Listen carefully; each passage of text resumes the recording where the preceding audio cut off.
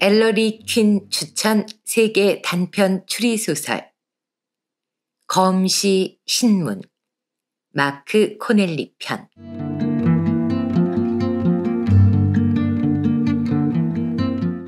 이름은 프랭크 윙거드라고 합니다. 주소는 웨스트 55번가 185번지입니다. 직업은 Hello America 극단의 무대 감독입니다.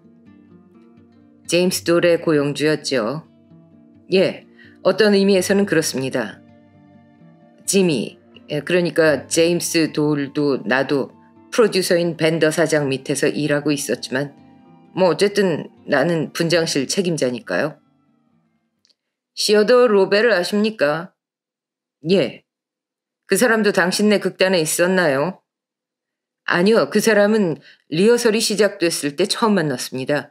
그때가 6월이니까 지금으로부터 석 달쯤 전이죠. 난쟁이를 모집했더니 로벨과 지미가 함께 왔더군요. 뭐 그 밖에도 많이 왔지만요. 그런데 로벨은 키가 너무 커서 채용할 수가 없었습니다. 그 후로는 로벨을 보지 못했고 지난 화요일에 그 방에 들어갈 때까진 말이에요. 그래서 그들의 시체를 발견했군요. 네, 저기 있는 파이크 부인과 함께요. 방에 들어가 보니 둘 다 죽어 있었지요. 네. 이 도시에는 어떻게 오셨습니까? 월요일 밤에 지미의 셋집으로 전화를 걸었습니다. 공연 시간이 됐는데도 나타나질 않아서요. 그런데 집주인인 파이크 부인이 전화로 말하기를 둘 다 방에 없다는 겁니다. 그래서 짐이든 로벨이든 돌아오면 전화하라고 전해달라고 부탁해 두었죠. 그랬더니 화요일 아침에 파이크 부인한테서 전화가 왔는데 짐이 방에 들어가 보려고 했더니 문이 잠겨 있다는 거예요. 다른 방에 사는 사람들은 전부 나가고 혼자 있는데 왠지 무서운 기분이 든다고 하더군요. 무슨 일이 일어난 게 아닐까 하는 생각이 들어서 내가 그리로 갈 테니까 기다리라고 했습니다. 그러고는 지하철을 타고 정오 무렵 그쪽에 도착했죠. 그래서 파이크 부인과 함께 2층으로 올라가 문을 부수고 들어간 겁니다. 그 방에 이 칼이 있는 걸 보았습니까? 네, 바닥에 떨어져 있었습니다. 음, 지미의 몸에서 두어 뼘 떨어진 곳에. 무슨 일이 일어난 게 아닐까 하는 생각이 들었다고 하셨는데 무슨 뜻입니까? 지미한테 무슨 사고라도 생긴 게 아닐까 생각했습니다. 물론 그가 죽어 있을 줄은 꿈에도 몰랐지만요. 지미는 요즘 몹시 우울했거든요. 그런 지미를 로벨이 위로해 주려고도 하지 않는다는 건 알고 있었죠. 그렇다면 그들은 싸움이라도 했습니까? 아니요. 둘 다 울적해 있었습니다. 로벨은 훨씬 전부터 우울증에 걸려 있었어요. 아, 로벨과 지미는 처남 매부 사이입니다. 로벨이 5년 전쯤에 지미의 누이와 결혼했거든요. 그 여자도 난쟁이였죠. 그런데 결혼한 지 1년쯤 뒤에 그 여자가 죽어버렸습니다. 지미는 로벨 부부와 함께 살다가 누이가 죽은 뒤에는 로벨과 함께 파이크 부인의 집에 새들어 살고 있었죠. 그런 것까지 어떻게 아십니까? 지미하고 나는 극단에서 꽤 친하게 지냈습니다. 지미는 좋은 녀석이었고요. 내가 일자리를 마련해 준 걸 고마워하는 눈치였어요. 제 이막의 동양 장면에 난쟁이가 한 사람 필요해서 소개업자한테 부탁했더니 15명이나 보내왔더군요. 연출자인 게링 씨가 자기는 바쁘니까 적당한 사람을 하나 골라두라고 했기 때문에 키가 제일 작은 지미를 골랐죠. 지민은 서커스단에서 인기를 끌 만큼 작진 않았기 때문에 1년 가까이 일을 못했거든요. 그래서 무슨 일이든 가릴 형편이 아니었죠. 친해지자 지민은 매부 얘기를 자주 해주었습니다. 매부와 사이가 나쁘다는 말은 하지 않던가요? 로벨과는 말다툼한 적도 없었을 겁니다. 이건 짐작이지만 지민은 로벨한테 호감을 가지고 나름껏 도와준 모양이에요. 로벨은 지난 2, 3년 동안 일을 전혀 못해서 지미보다 형편이 훨씬 어려웠거든요. 그래서 지미가 먹여 살리다시피 했죠. 지미가 자주 말했지만 로벨은 고령 성장한 뒤로 줄곧 우울증에 빠져 있었다더군요. 뭐라고요? 고령 성장이요. 그게 난쟁이들 사이에는 흔히 있는 일이라는데 난 지미한테 처음 들었습니다. 난쟁이는요, 대개 14살 때 키를 평생 유지하지만 30살 무렵에 키가 갑자기 다시 자라는 사람도 있답니다. 그래서 2, 3년 사이에 무려 30cm 이상 자라는 경우도 있다더군요. 그 후로는 영원히 성장이 멈춘다지만 어쨌든 그렇게 자라버리면 난쟁이로서는 타격이 크죠. 그런데 로벨이 3년 전에 그렇게 돼버렸습니다. 그래서 좀처럼 일거리를 얻지 못했고 그걸 몹시 괴로워했다더군요. 로벨은 일주일에 두 번 뉴욕에 와서 소개업자를 만났지만 전혀 일거리를 얻지 못하고 어, 저지시티로 돌아가곤 했답니다. 로벨은 일주일에 태반을 혼자 지냈습니다. 공연이 시작되면 지미가 사촌네 집에 묵을 때가 많았기 때문이죠. 그래서 최근 로벨은 뉴욕에 전혀 나타나지 않았습니다. 하지만 토요일 밤이면 지미는 반드시 저지시티로 돌아가 월요일까지 로벨과 함께 지내면서 로벨의 기운을 북돋워 주려고 애썼습니다. 일요일마다 그들은 산책을 하거나 영화를 보면서 지냈죠. 거리를 걷고 있으면 로벨은 지미와 자신의 키 차이를 절실히 느꼈을 겁니다. 하, 두 사람이 죽어버린 건 그 때문일 거라고 생각합니다. 그건 무슨 뜻입니까? 아까도 말씀드렸듯이 지미는 로벨을 동정하고 기운을 북돋워 주려고 애를 썼습니다. 지미는 앞으로도 계속 일거리를 얻을 수 있겠지만 로벨은 키가 너무 작아서 일거리를 얻을 수 없으니까 지미한테 얹혀 살 수밖에 없다는 건 둘 다 잘 알고 있었습니다. 그래서 로벨은 괴로워했죠. 그런데 한 달쯤 전 월요일에 지미가 이러더라고요. 자기도 끝장이라고. 내가 7시 반쯤 분장실 입구에 서 있는데 지미가 풀 죽은 모습으로 걸어오는 게 보이더군요. 평소에는 지팡이를 흔들면서 활기차게 걷는데 이상하구나 생각했죠.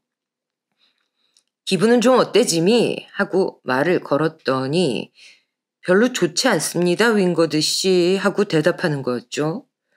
그래서 도대체 무슨 일이야? 하고 물었더니 무서워졌다는 거예요. 뭐가? 그랬더니 지미는 키가 자라기 시작했어요. 하더군요. 마치 일주일 뒤에 죽을 병에라도 걸린 듯한 말투였죠. 지미는 떨고 있는 것 같았습니다. 무슨 소리야? 조금도 잘하지 않았는데 왜 그래? 그랬더니 지미가 이러더라고요. 아니요, 잘하기 시작했어요.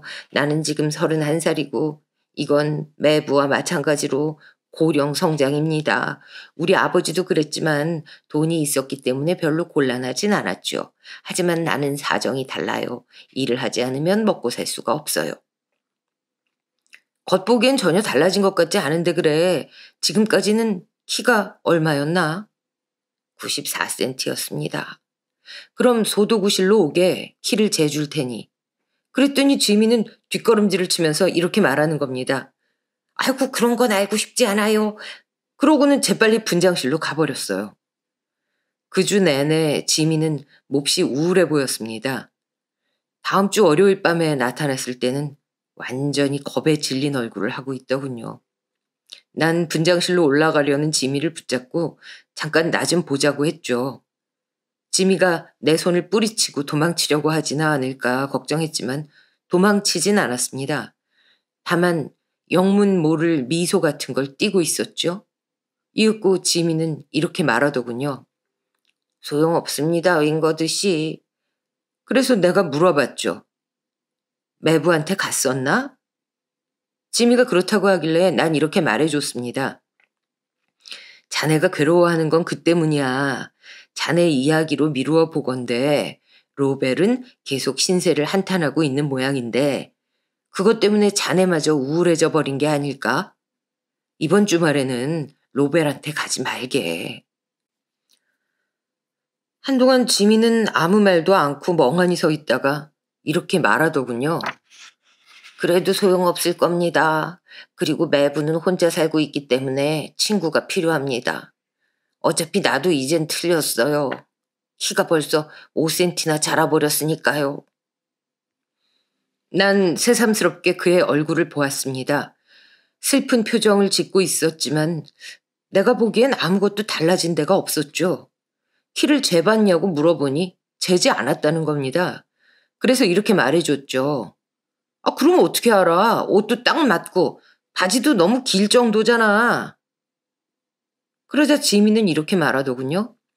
바지는 멜빵을 해서 아래로 끌어내린 겁니다. 게다가 원래부터 좀 큰 편이었고요. 그래서 난 이렇게 말했습니다. 확인해 보지 않겠나? 줄자를 가져와서 재보세. 그런데 지민은 완전히 겁에 질려서 재볼 생각을 하지 않았어요. 끝까지 싫다고 고집을 부리더군요. 그 주 내내 지민은 날 피했습니다. 그런데 요전 토요일 밤에 극장을 나가려다가 우연히 지미하고 마주쳤죠. 이젠 기분이 좀 나아졌냐고 물으니까 괜찮다더군요. 하지만 완전히 겁먹은 얼굴을 하고 있었어요. 그게 내가 마지막으로 본 지미의 모습이었습니다. 화요일에 파이크 부인의 전화를 받고 저지시티에 갈 때까지는요. 순찰 경찰 골리츠의 증언에 따르면 그가 현장에 도착했을 때 시체는 방 양쪽에 따로 떨어져 있었다던데 당신들이 문을 부수고 들어갔을 때도 시체는 그 위치에 있었습니까? 네. 검시관의 증언에 따르면 둘 다 칼에 찔려 죽었답니다. 그것도 같은 칼에 찔린 모양이에요. 지미가 쓰러질 때 그의 손에서 칼이 떨어졌을 거라고 생각하십니까? 예. 지미가 일자리를 잃을지 모른다는 두려움 때문에 둘 다 절망해서 자살한 거라고 생각하세요? 아니요. 그렇게는 생각하지 않습니다. 그렇다면? 파이크 부인하고 함께 방에 들어갔을 때 난 그 칼을 보고 부인한테 말했습니다. 방에 놔두기에는 이상한 칼이라고. 아시다시피 그건 고기를 썰 때 쓰는 칼입니다. 그러자 파이크 부인이 말하더군요. 이건 2, 3주 전에 자기 부엌에서 없어진 칼이라고. 로벨이나 지미가 훔쳤을 거라고는 생각도 못했다는 거죠. 하지만 로벨이나 지미가 그런 칼을 훔쳤다는 것도 이상하다는 생각이 들었습니다. 그래서 이것저것 생각하는 동안 진상을 알았습니다. 부러진 작은 지팡이가 침대 위에 뒹굴고 있었죠? 이거 말입니까? 네, 그거요. 지미는 키가 자랐다고 말했지만 키를 재보려고 하지 않았기 때문에 정말로 자랐다는 확증은 없습니다. 그래서 바이크 부인한테 칼 얘기를 듣고 이것저것 생각해 봤습니다. 그 칼이 활동을 개시하기 5분쯤 전에 지미는 그 칼을 발견한 게 아닐까. 아마도 우연히 발견한 게 아닐까 하고 말이죠. 우연이라면 로벨은 정신이 약간 돌았던 게 아닐까 생각합니다. 로벨은 칼을 훔쳐서 지미 눈에 띄지 않도록 몰래 숨겨 놓았습니다. 그래서 지미는 그 칼을 발견했을 때 로벨이 대체 이 칼로 뭘 하고 있을까 생각했을 겁니다.